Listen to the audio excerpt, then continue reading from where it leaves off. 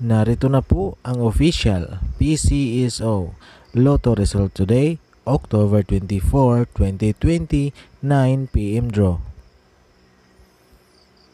Para maging updated sa mga Lotto result at Swertres Herring, mag-subscribe na sa ating channel, Swertres Herring Today.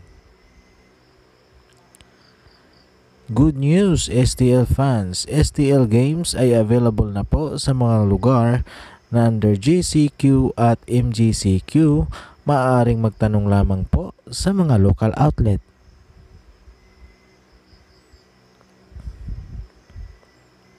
Lotto 642 winning numbers 7 36 11 31 35 and 14 in any order with a jackpot price of 39,350,615 pesos and 20 centavos.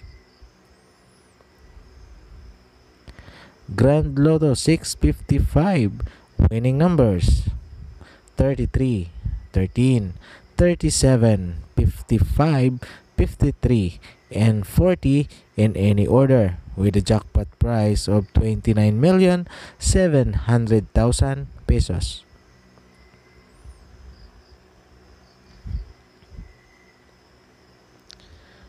Two D Lotto winning numbers 11 and 15 in exact order.